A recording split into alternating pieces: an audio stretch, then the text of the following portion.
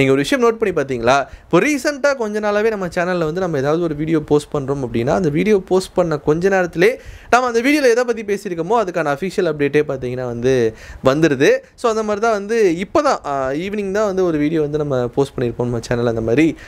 Premier show கிடையாது. Early morning show வந்து first day first show வந்து பெர்மிஷன் வந்து கேட்டுட்டு இருக்கிறாங்க ட்ரை பண்ணிட்டு இருக்கிறாங்க. ஸோ கொடுத்தா நல்லாயிருக்கும் இல்லை அப்படின்னா ஒம்பது மணி ஷோ தான் வந்து ஃபர்ஸ்ட் ஷோவாக இருக்க போகுது அப்படிங்கிற மாதிரி ஒரு விஷயம் பேசியிருப்போம். அந்த வீடியோ போஸ்ட் பண்ண கொஞ்ச நேரத்துலேயே பார்த்தீங்கன்னா அஃபிஷியலாகவே வந்து கவர்மெண்ட் ஆர்டர் வந்து பாஸ் பண்ணிட்டாங்க. ஸோ ஆக்சுவலாக அதில் நிறைய கன்ஃபியூஷன்ஸ் இருக்குது ஸோ அது நிறைய பேர் நிறையா போட்டு கன்ஃபியூஸ் பண்ணிகிட்டு இருக்கிறாங்க ஃபேன்ஸை அது என்ன அப்படின்னு தெளிவாக இப்போ நம்ம பார்த்துடலாம்.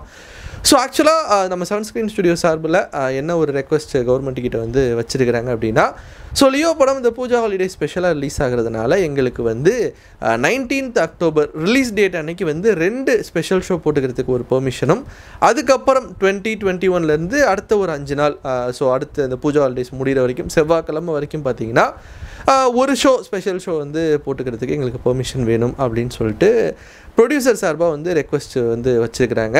ஸோ அதுக்கு அவங்க என்ன பதில் சொல்லியிருக்காங்கன்னா நேற்றே ஒரு விஷயம் என்ன போச்சு அப்படின்னா இந்த மாதிரி ரோட்டு மேலே இருக்கிற தேட்டர்ஸு ஸோ அந்த மாதிரி நிறைய தேட்டர்ஸ்லலாம் பார்த்தீங்கன்னா வந்து நீங்கள் எவ்வளோ வேணால் செலிப்ரேஷன் பண்ணிக்கோங்க என்ன வேணால் பண்ணிக்கோங்க. உங்கள் தேட்டர் வட்டத்துக்குள்ளே நீங்கள் எதுவாக இருந்தாலும் வச்சுக்கோங்க. வெளியே ரோடாக இருக்கட்டும் அதுக்கப்புறம் பப்ளிக் பப்ளிக் டிஸ்டர்ப் பண்ணுற மாதிரி வந்து எதுவுமே பண்ணக்கூடாது. நீங்கள் தேட்டருக்குள்ளே நீங்கள் என்ன வேணால் செலிப்ரேட் பண்ணிக்கோங்க அப்படிங்கிற மாதிரி ஒரு விஷயம் நேற்று தான் வந்து கேள்விப்பட்டிருப்போம். ஸோ அதுக்கான பெர்மிஷன்ஸ் வந்து ஓகே இந்த ஸ்பெஷல் ஷோஸை பொறுத்த வரைக்கும் இப்போது இன்றைக்கி இந்த கவர்மெண்ட் ஆர்டரில் வந்து என்ன மென்ஷன் பண்ணியிருந்தாங்கன்னா இந்த மாதிரி செவன் ஸ்க்ரீன் ஸ்டுடியோஸ் இந்த மாதிரி ரெக்வஸ்ட் வச்சுருக்காங்க அப்படின்னு சொல்லிட்டு நான் சொன்ன மாதிரி அந்த ஃபஸ்ட் டே ரெண்டு ஷோவும் அடுத்த அஞ்சு நாள் வந்து ஒரு ஷோவும் வந்து கேட்டிருக்கிறாங்க. ஸோ இப்போது அவங்க ரெக்வஸ்ட் பண்ண மாதிரி வந்து நாங்கள் வந்து ஒரு நாளைக்கு அஞ்சு ஷோ ஓட்டிக்கிறதுக்கு நாங்கள் பெர்மிஷன் தரோம் அப்படின்ட்டு மட்டும்தான் வந்து மென்ஷன் பண்ணியிருந்தாங்க. பத்தொம்போதாம் தேதியிலேருந்து பத்தொம்போது இருபது இருபத்தொன்று இருபத்திரெண்டு இருபத்தி மூணு இருபத்தி நாலாம் தேதி வரைக்கும் செவ்வாய்க்கிழமை வரைக்கும் நீங்கள் ஒரு நாளைக்கு அஞ்சு ஷோஸ் வந்து தேட்டரில் ஓட்டிக்கலாம் அதுக்கான பெர்மிஷன்ஸ் தரோம் அப்படின்னு சொல்லிட்டு அந்த கவர்மெண்ட் ஆர்டரில் வந்து மென்ஷன் பண்ணியிருந்தாங்க. ஷோ டைமிங் அவங்க மென்ஷன் பண்ணாததுனால ஸோ அதுதான் பார்த்தீங்கன்னா இப்போ வந்து பல கன்ஃபியூஷன்ஸ் பல பேர் வந்து ஒரு பேசிக்காக ஒரு ஷோ டைமிங் நாலேஜே இல்லாமல் அவங்க இஷ்டத்துக்கு வந்து அவங்க பாட்டுக்கு வந்து இது அஞ்சு மணி ஷோ பதினோரு மணி ஷோ அப்படின்னு சொல்லிட்டு ஒரு ஷோ ஒரு டைமிங் லிஸ்ட்டெல்லாம் சோஷியல் மீடியாவில் வந்து சில அஃபிஷியலாக அஃபிஷியல் பண்ண எல்லாரும் தான் காசு கொடுத்தா அஃபிஷியலாக ஹேண்டெல்லாம் மாறிடலாம். ஸோ அந்த மாதிரி நிறைய பேர் பார்த்தீங்கன்னா வந்து சோஷியல் மீடியாவில் போட்டுட்ருக்காங்க ஸோ இப்போதைக்கு அவங்க அஞ்சு ஷோ அப்படின்னு மட்டும்தான் சொல்லியிருக்கிறாங்க. பட் எத்தனை மணி show first day first show அப்படிங்கிறது தேட்டர் ஓனர் அசோசியேஷன் தான் வந்து முடிவு பண்ண போகிறாங்க அவங்க டிஸ்கஷன் பண்ணிட்டு ஸோ அவங்க வந்து அவங்க சைட்லேருந்து எத்தனை மணி ஷோ வந்து ஃபர்ஸ்ட் ஷோவாக ஆரம்பிக்கலாம் அஞ்சு ஷோ எத்தனை மணி ஷோ அப்படின்னு சொல்லிட்டு அவங்க தான் வந்து அதை டிசைட் பண்ண போகிறாங்களே தவிர ஸோ இவங்களா பார்த்துட்டு சோஷியல் மீடியாவில் போடுற டைம் நாலு மணி ஏழு மணி அந்த ஒம்பது மணி அந்த டைமிங்லாம் பார்த்தீங்கன்னா வந்து அது ஃபேக் அது இன்னும் அவங்க டைமிங் டிசைட் பண்ணவே இல்லை ஃபர்ஸ்ட் ஷோ எத்தனை மணிக்குன்னு சொல்லிட்டு. ஸோ இந்த ஜியோவை கன்சிடர் பண்ணாமல் ஜென்ரலாக இப்போ வரைக்கும் எப்படி இருந்துகிட்ருக்கு அப்படின்னா ஒம்பது மணி ஷோலேருந்து வந்து நீங்கள் தேட்டரில் வந்து ஷோ போட்டுக்கலாம். பட் ஆனால் ஒரு நாளைக்கு வீக் டேஸில் நாலு ஷோ மட்டும்தான் பப்ளிக் ஹாலிடேஸ்லையும் வீக்கெண்ட்ஸ்லையும் அஞ்சு ஷோ ஓட்டிக்கலாம். ஸோ இதுதான் வந்து இது வரைக்கும் இருக்க ஒரு பர்மிஷனாக இருந்தது. பட் இப்போ நம்ம செவன் ஸ்க்ரீன் ஸ்டுடியோஸ் வந்து இந்த மாதிரி ரெக்வஸ்ட் பண்ணி பெர்மிஷன் வாங்கினதுனால ஒரு நாளைக்கு அஞ்சு ஷோ ஓட்டிக்கலாம் அப்படிங்கிற மாதிரி வந்து பெர்மிஷன் கொடுத்துருக்காங்க இல்லையா? அப்போ பத்தொம்போதாம் தேதி ரெண்டு ஷோ ஸ்பெஷல் ஷோ கேட்டிருக்காங்க. அதாவது ஆறு ஷோக்கு வந்து எங்களுக்கு பெர்மிஷன் கொடுங்க. பத்தொம்போதாம் தேதி மட்டும் மித்த அஞ்சு நாள் வந்து அஞ்சு ஷோ கொடுங்கன்னு கேட்டிருக்கிறாங்க. பட் அவங்க கவர்மெண்ட் சைட்லேருந்து எல்லா நாளுமே நாங்கள் அஞ்சு ஷோ தரோம். அதாவது வியாழக்கிழமையும் வெள்ளிக்கிழமையுமே வந்து நீங்கள் அஞ்சு ஷோ ரன் பண்ணிக்கலாம். திங்கள் செவ்வாய் வந்து உங்களுக்கு பப்ளிக் ஹாலிடேங்கிறதுனால அது அஞ்சு ஷோங்கிறது டிஃபால்ட்டாக வந்து பெர்மிஷன் கொடுத்தது. சனி ஞாயிறும் வந்து அஞ்சு ஷோங்கிறது டிஃபால்ட்டாக ஆல்ரெடி இருக்கிற பர்மிஷன் தான். அது ஏதோ புதுசாக சொல்கிற மாதிரி வந்து அந்த கவர்மெண்ட் ஆர்டரில் வந்து மென்ஷன் பண்ணியிருக்கிறாங்க. ஸோ அவங்க பார்த்தீங்கன்னா வியாழன் வெள்ளி இந்த ரெண்டு நாள் மட்டும்தான் எக்ஸ்ட்ரா ஒரு ஒரு ஷோ வந்து கொடுத்துருக்காங்களே தவிர மீதி எல்லாம் வந்து ஆல்ரெடி வந்து ஜிஓவில் ஆல்ரெடி வந்து ரெகுலேஷன்ஸில் இருக்கிற ஒரு விஷயம் தான் ஸோ பப்ளிக் ஹாலிடேஸ் அண்ட் வீக்கெண்ட்ஸில் வந்து அஞ்சு ஷோ ஓட்டிக்கலாம் அப்படிங்கிறது.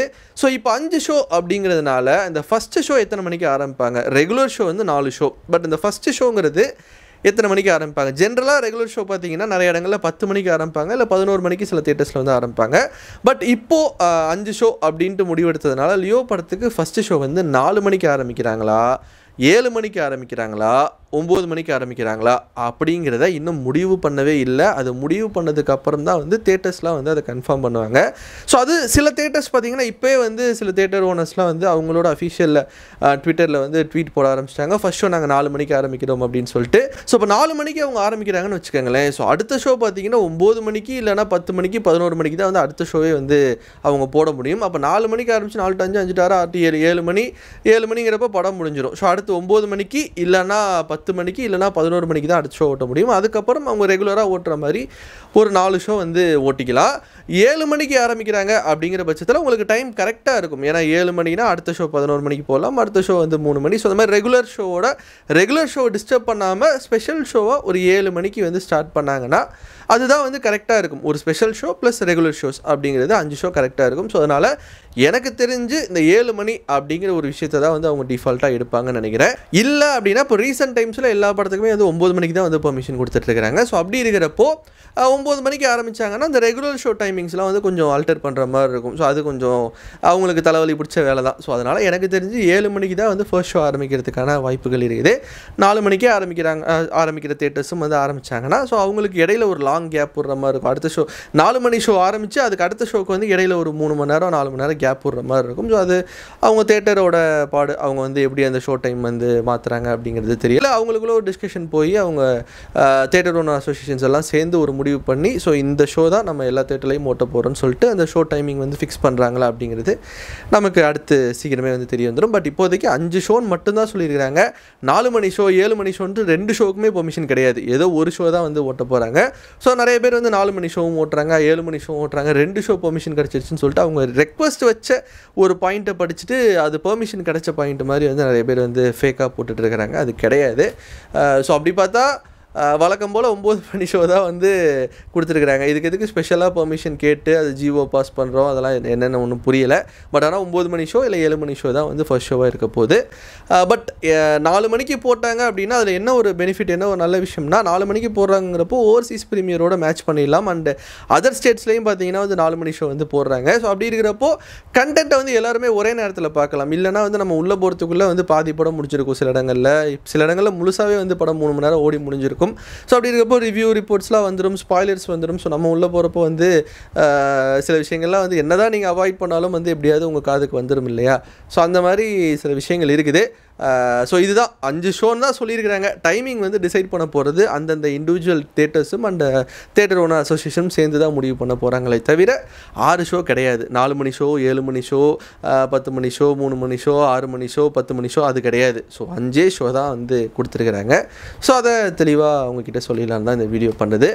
ஓகே எனிவே நாலு ஷோ ஓட்டுற இடத்துல ஒரு ஷோ எக்ஸ்ட்ரா கொடுத்துருக்காங்கல்ல அதுவே வந்து சந்தோஷம் தான் ஸோ இந்த வீக்கெண்ட் பார்த்தீங்கன்னா வந்து புக்கிங் வந்து ஓப்பன் பண்ணுறாங்க இல்லையா? ஸோ புக் பண்ணிட்டு எல்லாம் நிறைய பேர் மலேசியா சிங்கப்பூர்லாம் ஆல்ரெடி வந்து புக்கிங் ஓப்பன் பண்ணி புக் பண்ணிட்டு அவங்க ரெடியாக இருக்கிறாங்க நிறைய ஃபேன்ஸ்லாம் ஸோ இங்கே தான் இன்னும் ஓப்பன் பண்ணல. இப்போ தான் ஃபைனலைஸ் பண்ணிட்டாங்க இல்லையா? ஸோ இன்னும் தேட்டர் சைடு தான் வந்து முடிவு பண்ணி புக்கிங் ஓப்பன் பண்ணுறதா வந்து பெண்டிங்கு ஸோ அது இந்த வீக்கெண்ட் சனிக்கிழமை நடந்துடும் எப்படியும் மேக்ஸிமம் சனிக்கிழமை போல் ஆரம்பிச்சிடுவாங்க ஸோ இதான் நண்பா. இதை உங்ககிட்ட வந்து தெளிவுபடுத்திடலான்னு சொல்லிட்டு தான் இந்த வீடியோ பண்ணுது. அண்ட் இதை பற்றி நீங்கள் என்ன நினைக்கிறீங்க அப்படிங்கிறத கமெண்ட் செக்ஷனில் சொல்லுங்கள் அது சொல்ல வீடியோ முடிச்சுக்கிறேன். நம்ம அடுத்து இன்னொரு சந்திக்க பண்ணுறதுக்கு